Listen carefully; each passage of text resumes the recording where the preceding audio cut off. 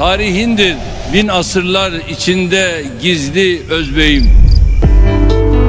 Sana yaşıttır Pamir ve Aksaç'ı Tiyanşan Özbeyim.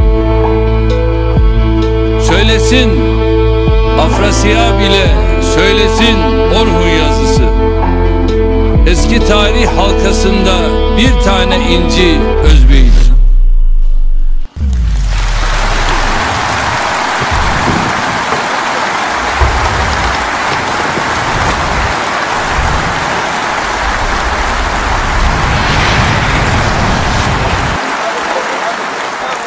El Biruni, El Harizmi, El Farab soyundan. Aslı nesli belki uzluk, belki Tarhan Özbeyim. Evet buradan Özbekistan halkının siz kıymetli temsilcileri şahsında bütün Özbek kardeşlerimi selamlıyorum. Ata yurdumuz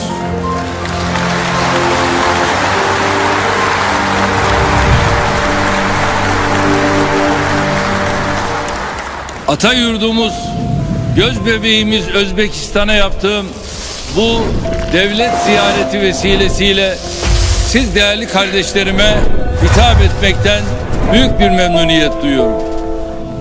Şahsıma Özbekistan Ali Meclisi'ne hitap etme fırsatı verdiğiniz için her birinize ayrı ayrı teşekkür ediyorum. Asya'nın kalbinde doğuyla batının güneyle kuzeyin buluştuğu Mümbit Mavera Nehir bölgesinin merkezinde yer alan Özbekistan'da kendimizi evimizde hatta evimize dönmüş hissediyoruz. Türkistan medeniyetinin doğduğu ve geliştiği bu topraklar Runi, Mirza Ulubek, İbn Sina, Harizmi, Ali Kuşçu gibi dünyayı aydınlatan, insanlığın ufkunu genişleten bilim adamlarını yetiştirmiştir. İmam Buhari, İmam Maturidi, İmam Tirmizi, Bahaüddin Nakşibendi gibi manevi önderlerimiz buranın, bu toprakların armağanı. Onlar ebediyete göçmüş olsalar da geride bıraktıkları miras sadece Özbekistan'ı değil Anadolu'yu da aydınlatmaya devam ediyor. Taşkent ile Ankara, Semerkant ile Konya, Buhara ile Bursa, Hiva ile Edirne asırlardır işte bu manevi havayı teneffüs ediyor. Kıymetli kardeşlerim, gönüller arasına sınır çizilmez. Kalpleri, yürekleri bir olanlar için mesafelerin hiçbir anlamı yoktur. Bizim inancımızda, bizim geleneğimizde kardeşlik en kıymetli hazinedir. Özbekistan'ın 16 Aralık 1991 tarihinde bağımsızlığını yeniden kazanması Özbek kardeşlerimiz kadar Türk milleti içinde büyük bir gurur kaynağı olmuştur. Türk hükümetleri Özbekistan'ın güçlenip gelişmesine destek olabilmek için imkanlarını seferber etmiştir. 1996 yılında imzalanan ebedi dostluk ve işbirliği anlaşması günümüzde de değerini ve anlamını koruyor. Bugün hem Türkiye hem Özbekistan 1990'lı yıllara nazaran hamdolsun çok daha güçlüdür. Değerli kardeşim Cumhurbaşkanı Sayın Şevket Mirziyoyev'in özellikle de beraber ülkelerimizi daha ileri taşımak için amelde birlik ruhuyla çalışıyoruz. Cumhurbaşkanı değerli kardeşimle 25-27 Ekim 2017 tarihlerinde Türkiye'ye yaptığı ziyareti sırasında ilişkilerimizi stratejik ortaklık düzeyine çıkarmıştık. Bugün imzaladığımız ortak açıklama ile de yüksek düzeyli stratejik işbirliği konseyini ihdas ettik. bu mekanizmanın sağladığı imkanlarla ekonomiden savunma sanayine, eğitimden kültüre, çevreden enerjiye, tarımdan turizme her alanda işbirliğimizi daha da güçlendireceğiz. Ve tabii bugün biz aslında 25 anlaşmayı imzaladık. Bugüne kadar herhalde Özbekistan böyle bir büyük paket imzalamamıştır.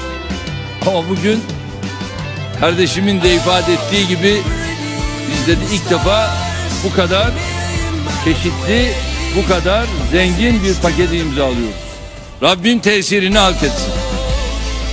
İnşallah güç birliği yaparak ilişkilerimizi kardeşliğimize yakışır noktaya süratle getireceğiz. Hem ikili mekanizmamızın gelişmesi hem de Özbekistan'ın hak ettiği konuma ulaşması için kardeşim Mirzayev'in yürüttüğü çalışmaları takdirle takip ediyoruz. Özbekistan Ali Meclisi'nin ve devlet idarelerinin 2017 2022 eylemler stratejisi çerçevesinde gösterdiği bu gayret çabaların daha birinci yılında meyvelerini vermeye başladığını görüyoruz. Sayın Mirziyoyev'in iş ve yatırım ortamını iyileştirmeyi esas alan kararlı adımları Özbekistan'ı yatırımcıların gözünde daha cazip bir ülke ve güvenilir bir ortak haline getiriyor. Özbekistan kalkınma ve refah yolunda çok hızlı mesafe kaydediyor. Şüphesiz ekonomik kalkınma tabiatıyla bugünden yarına gerçekleşecek bir hadise değil. Bunun için çok çalışmak, planlı hareket etmek, azim, inanç ve özgüvenle davranmak gerekir. Kalkınmada özellikle de istikrar ve güven olmazsa olmaz iki başlıktır. Buhara Emirliği'nin hazinesinden Türkiye'ye yardım gönderilmesini tereddütsüz onaylayan Buhara Meclisi üyelerini de hiçbir zaman unutmayacağız.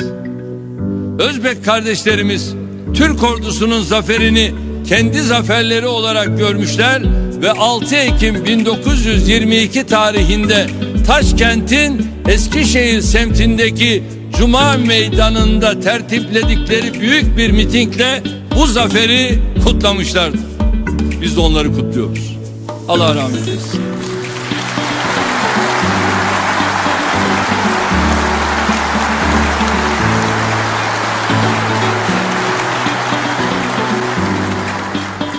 ...16 Temmuz 1922 tarihli... ...Buhara Ahbarı gazetesinde...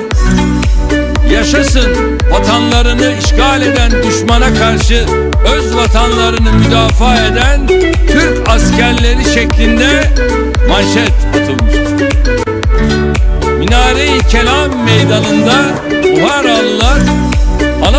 Anadolu'daki kardeşlerimizin zaferi kutlu olsun sloganlarıyla bir hafta kutlama yapıp aynı meydandaki Cuma Mescidinde şehitler için hatimler indirmişler. Onları anlayacağız da kimleri anlayacağız?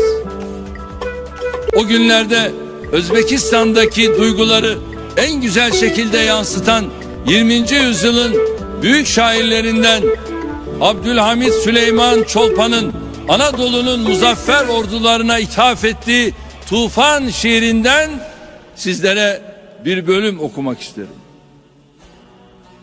Ey İnönü, ey Sakarya, ey İstiklal erleri, milli misak alınağınca Toktalmas'tan ilgeri. Bilemez kim katar katar kışlaklar. Sinesige nan toldurgan kışlaklar. Ot içinde şunun için ölüşni. Artı körüp anı otka saldınız. Anı kanga okka otka saldınız. Fakat bugün tatlı bir ölç aldınız. Yine bir kor tarihlerde kaldınız. Ey İstiklal, ey Sakarya, ey İnönü erleri, yür mazlumlar tufanının ölç alguçi selleri. If you see the man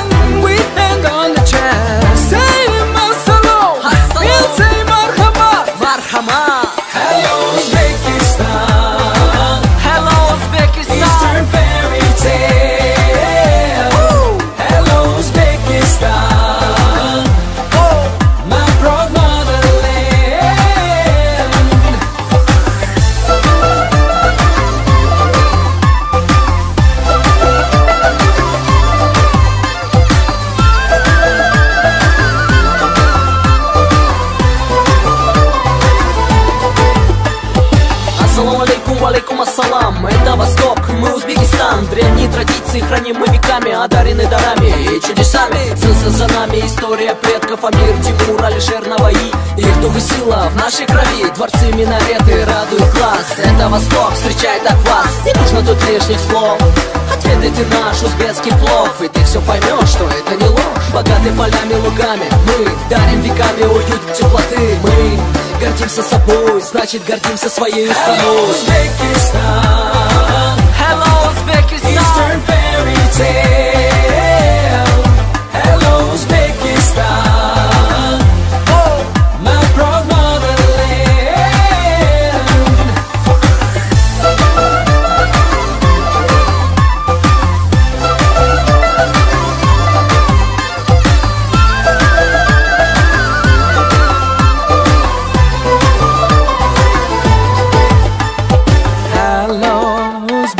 cho